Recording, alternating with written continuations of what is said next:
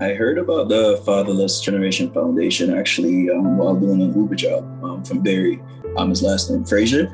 He um, he actually went through the process. He, he just we were just small talking, and him hearing uh, my conversation, and then I guess the passion that I spoke about behind my child, he instantly provided the information, which I think that was definitely a godsend or a blessing in, in the whole. So yes, that's how I heard about Fatherless Generation.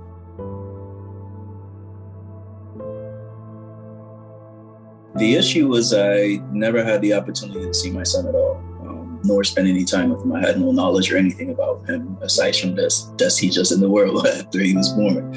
And um, I, I, was met with a lot of difficulties with trying to deal with it. So I was pretty much at my wits' end with a lot of frustration, not really knowing the directions to go. And um, you know, I, I, can sound like a broken record, but it was definitely a godsend thing that we had that small talk conversation for him to then introduce me here to give me the ability to now have a relationship with him. I had uh, I had no time with him by um, no speaking with him over the phone, no ability to actually see him physically. If I if I do end up getting an opportunity to see him physically, it is more of a, um, a guarded situation where I'm not allowed to spend time with him, right? His mother has to be present and it's controlled situation. So it was no, it was literally no access to my child at all, zero. You know, it was just more of a, a tease here and there. You know, I, I may get access for a moment and I may not.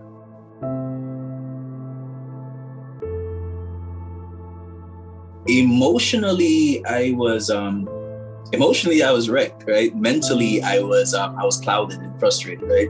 Um, generally questioning my choice of um, who I decided to bear a child with, almost even questioning myself, right? Because of not understanding why I had no access to my child. Like I have a good relationship with my daughter, so there shouldn't have been any problem with that, you know. Um, and um, it, it it almost made me question my character which I had to step back and think about it for a moment that I, there is absolutely no reason for that to happen. So I had to um, remove personal reasons from the situation.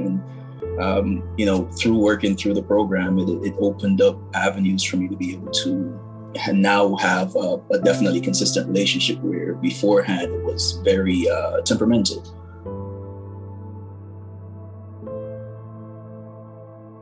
With working with yourself and the fathers fatherless generation, it was um, it, it it, it it gave me guidance. Right, I was able to get knowledge on things that I had no knowledge before. Um, I was able to get the help um, from lawyers, well, too, to be able to um, you know put certain things in place so I actually had um, I had a parenting plan. I was able to get something tangible to to where I was able to hold his mom accountable to, to be able to spend time him, as well as um, you know I, I, was also given access to different programs in case of uh, maybe something that may be helpful parenting or even uh, a mindset around being a co-parent as well.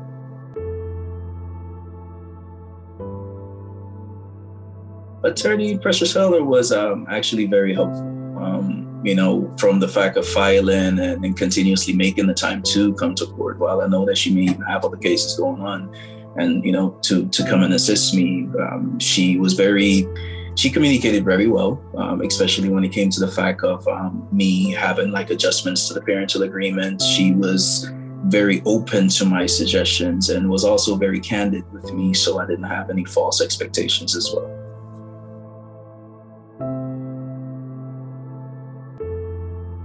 My relationship with my father is is good, right? Um, I'm from a different background, so um, I would say that the, the, the, time periods were a bit different, right? But it, it, it gave me examples of what I wanted to be as a father, right?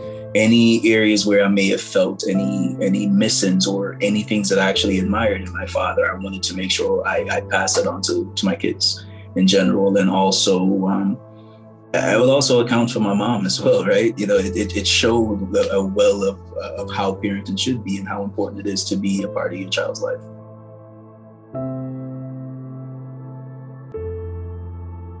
I would definitely say go with it because I'm I definitely um, the push. I've even called you before, like, hey, you know, I'm, I'm at my wits end with this. It does it doesn't make any sense, and you know, I, I, was reinforced to say, you know, like, you know, again, expectations set to where I didn't think it was going to happen in a blink of an eye, right? I, I was able to get the patience that I needed to get the resolution.